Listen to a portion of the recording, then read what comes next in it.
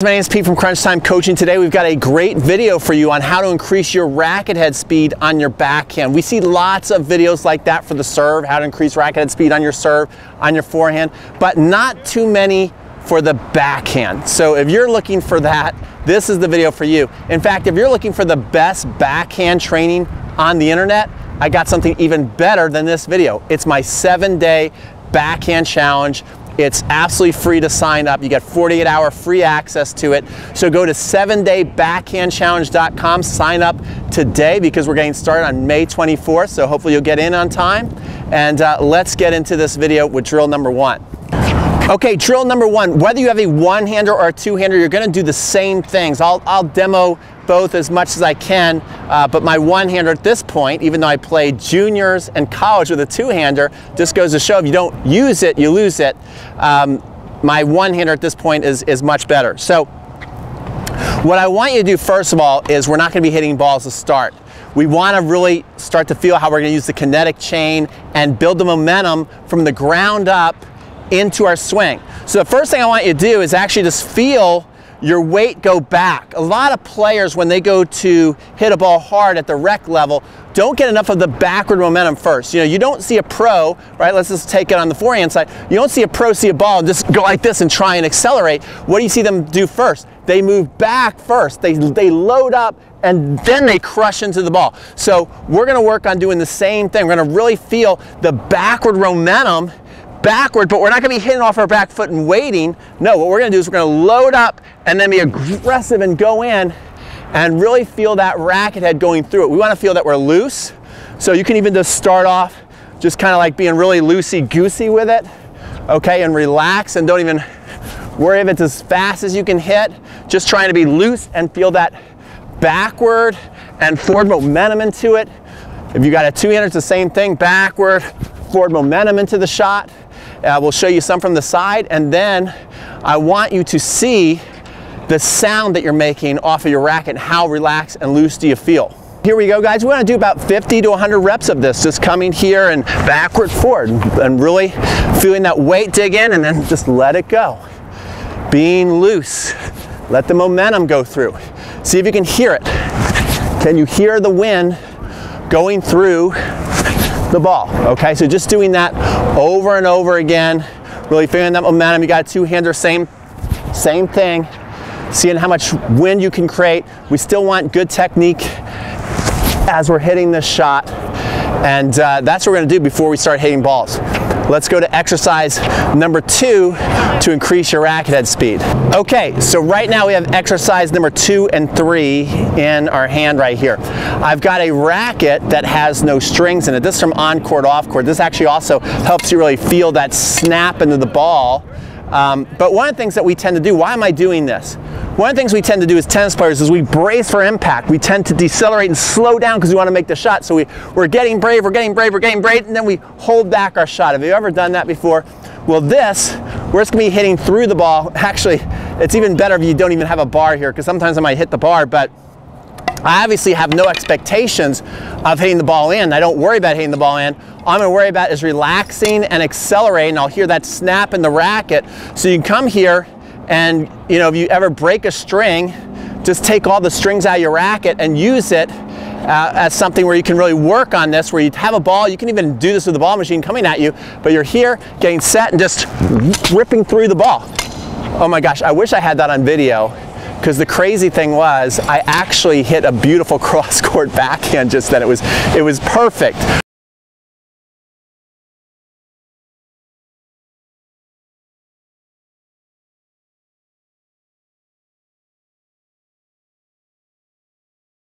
But uh, maybe it's because I just didn't even, you know, have any expectations there that I was able to make a shot with the bar. That was incredible. I wish I had the camera from the back view, but anyway, you get the idea. We're just getting here and we're just ripping through the shot.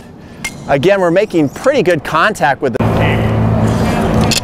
Okay, so the next exercise, drill number three to increase our racket head speed on our backhand is now we're gonna combine the two. So you take your racket that either has no strings or your snap racket and you're going to accelerate and go through it and then immediately you're going to pick up your other racket and hit. So I'm just gonna put it here against the tripod, come get it and try and get those two shots in as close amount of time as possible and uh, just try and make it feel like the same exact swing.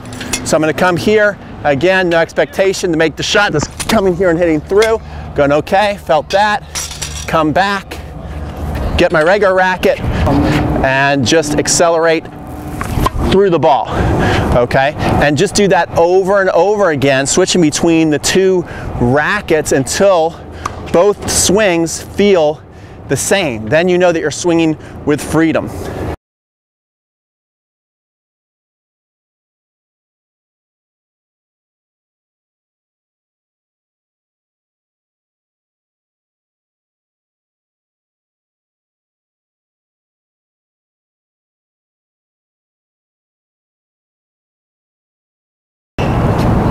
Okay, drill number four, I did this with Garrett Vincent. He's a high performance coach here at Windy Hill. Great club. If you're in the area, you should definitely check out their junior program.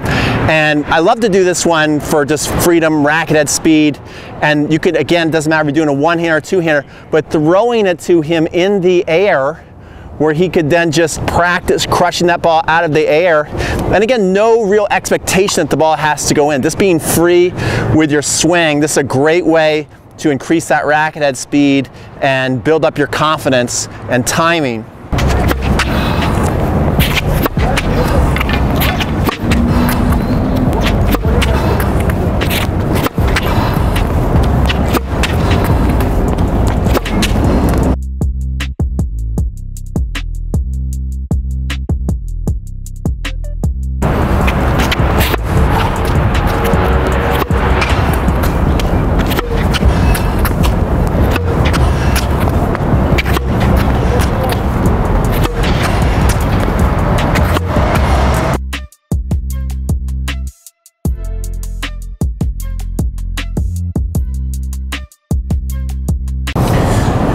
Okay, your fifth drill, last but not least, to increase that racket head speed on your backhand. I did this with Nathan Pasha, who played for the Georgia Bulldogs. He's out there on the tour right now, trying to make it on the doubles tour. And you'll notice a lot of pros do this drill where the coach is there quick feeding. Okay, you can do it stationary, just feeding one ball after the next. It's really forcing the player to increase their racket head speed to keep up with the pros feed. Uh, you can also bring your student forward so you can practice going forward and doing it at the same time Again, it's really going to quicken up your racket head speed to keep up with the coach feeding and also as the ball gets shorter in the court, you got to have faster racket head speed to snap it up and down the court. Hey Nathan, so this is your third drill that you like to use for your hands. Yep. Set me up on this one. So, so the great thing about this drill is when you start at the baseline, you have to hit more of a longer, heavier drive spin that goes through the court. And then as you get closer, you have to add tighter and tighter spin so the ball doesn't go out because you obviously get uh, closer uh, to the net inside the court and you have to add more spin to dip the ball down before it goes out. All right, let's do it. You ready? Yep. Here we go.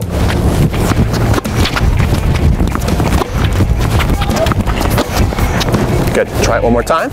Is that good feeds right there? Great, great. Keep even a little lower. Even a little lower. Ready? Go. Good. Perfect. Great job. And this is a great drill for your forehand or your backhand, by the way. And those are your five drills to increase your racket head speed on your backhand. Now, if you love this, then you're really gonna love our seven day backhand challenge. And I'm gonna play a commercial for it right now. If the commercial inspires you and think and you think it's a good idea to work on your backhand, then definitely sign up. Go to 7daybackhandchallenge.com and we'll see you on May 24th. It's time to develop a backhand with massive spin and power without having to give up accuracy or consistency, and without having to spend hours and hours on the court every day for the rest of your life, and without having to spend thousands of dollars on lessons that just don't work. My name is Peter Freeman, and I'm the founder of Crunch Time Coaching. You may have seen my videos on YouTube where I have over 10 million views. Or maybe you've seen me interview the great Rick Macci, Gigi Fernandez, or Rod Laver with my TennisCon event that features the very best coaches in the world in an effort to take your game to the next level. When you enroll in my challenge, you're going to unlock $1,068 worth of value. Your challenge includes a seven day step by step video coaching system a perfect practice plan, drill sheets, and live coaching and support. Plus, I'm throwing in a free bonus. My very best backhand lessons